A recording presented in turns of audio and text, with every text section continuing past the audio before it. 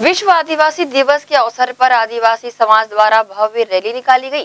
छत्तीसगढ़ी संस्कृति परंपरा, आदिवासी संस्कृति सभ्यता, परंपरा की मनमोहक झलक इस रैली में देखने को मिली। बरसते पानी में आदिवासी समाज के सैकड़ों लोगों ने रैली निकाली। विधायक देवेंद्र यादव ने सेक्टर पाँच में रैली का फूलमालाओं से स्वागत किया। साथ ही भगवान बूढ़ा देव की विधि विधान के साथ पूजा अर्चना की। विधायक देवेंद्र यादव ने भगवान बूढ़ा देव से आदिवासी समाज के हित विकास के साथ ही सभी के जीवन में खुशहाली की कामना की। विधायक देवेंद्र यादव समाज के युवक युवतियों के साथ लोकगीत में जमकर झूमे और आदिवासी नृत्य किया। आइए देखते हैं आयोजन की कुछ खास झलकियाँ।